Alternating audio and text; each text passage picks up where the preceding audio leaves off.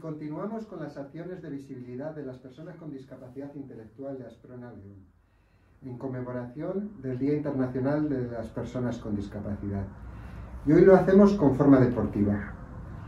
Uno de los objetivos de nuestra entidad es cumplir los sueños de las personas con discapacidad intelectual.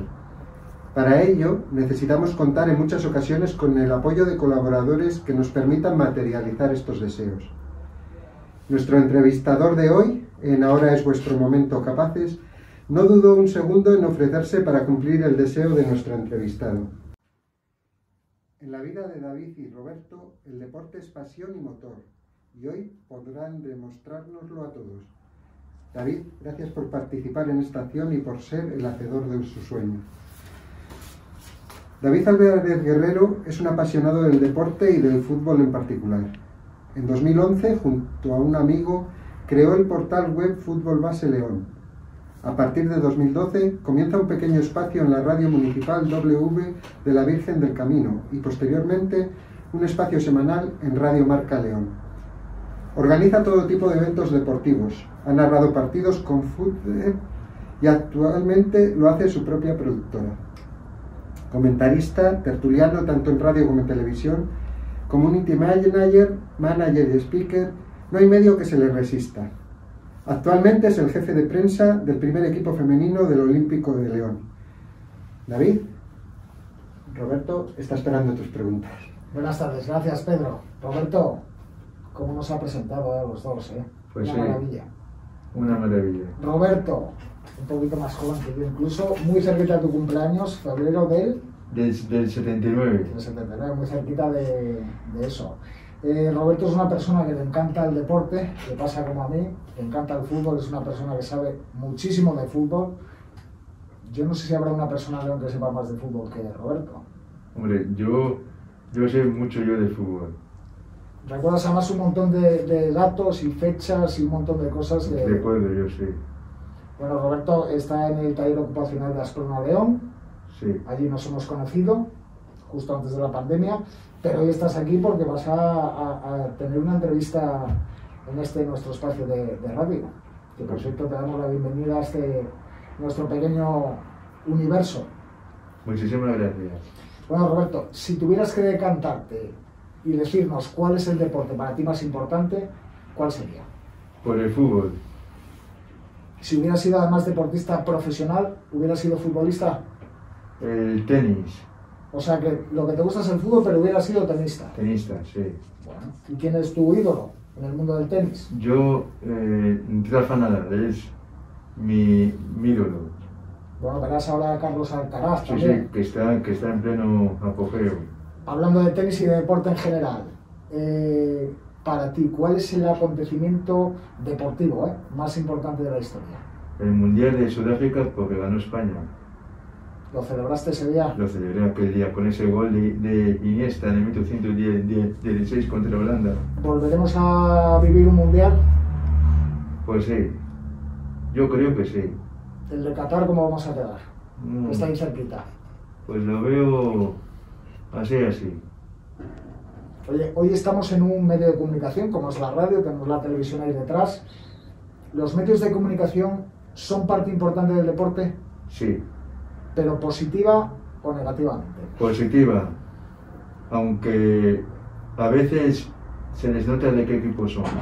Se les, se les nota mucho de qué equipo son. Y eso no debería ser. Un medio de comunicación debería ser imparcial. Imparcial, sí, imparcial. Yo sé que te gustan mucho los medios de comunicación. sí. Si te hubieras podido dedicar o si te dedicaras en el futuro a un medio de comunicación, ¿qué te gustaría hacer? Eh, comentarista deportivo, De fútbol. de fútbol, sí. Oye, ya que nos has dicho que quieres ser tenista, ¿también te gustaría ser tenista? Ah, ¿Ser comentarista de tenis? Pues si me lo, si me lo hacen, pues dispuesto. O sea, que podríamos decir que tu sueño sería ser eh, narrador deportivo de un partido de fútbol. Narrador, sí, sí. Del Mundial, por ejemplo, o no, nos conformamos con un poquito más, más cercano. Con un poquito más de casa. Pero bueno, ¿te hubiera gustado cantar ese gol de Iniesta? Ay, sí, sí, me hubiera gustado. Sí, sí. Eso sería un lujo. Uf. Me has dicho que tu ídolo es eh, Rafa Nadal en el tenis. Y en el mundo del fútbol, ¿quién es tu ídolo? A mí, eh, eh, Raúl González Blanco, porque fue un gran jugador y nunca fue expulsado en ningún terreno de juego. Y ahora un gran entrenador también. Cada- O sea, ¿A qué equipo entrena que además lo está haciendo fenomenal? Raúl González. en, el, en el Castilla. Muy bien. Y de los medios de comunicación, supongo que también tendrás ídolos o alguien que te gustaría parecerte. ¿Quién sería? Eh, Manolo Lama. O sea, Manolo Lama es tu referente en el mundo de la radio. Sí, ¿Y en sí. la tele? ¿A quién te gustaría, o quién es el que más te gusta? ¿O qué programa deportivo te gusta más? Me gusta más, eh, mira, mira, como estoy en el centro y no lo puedo ver, es el golazo Ese es el que más te gusta. de gol, sí. Eh, ¿Crees que eh, el deporte eh, para personas con discapacidad intelectual está reconocido o, o está suficientemente visibilizado por los medios de, comunica- de comunicación o se podría hacer más todavía? Creo que no, aunque a veces, aunque a veces, creo que no, aunque a veces, bueno, pare- parece que, que este año, este año están cambiando las cosas. Este año, el premio Princesa de Asturias al deporte lo, ha, ganado Teresa Perales. Pero en los Paralímpicos de Japón ganó una nadadora, la, la burgalesa Marta Fernández, y, y no ha tenido mucha repercusión. Y cuando nosotros, eh, eh, cuan- cuando, cuando nosotros gan- ganamos algún, algún campeonato, nos cuesta mucho que, que- que- que lo publiquen.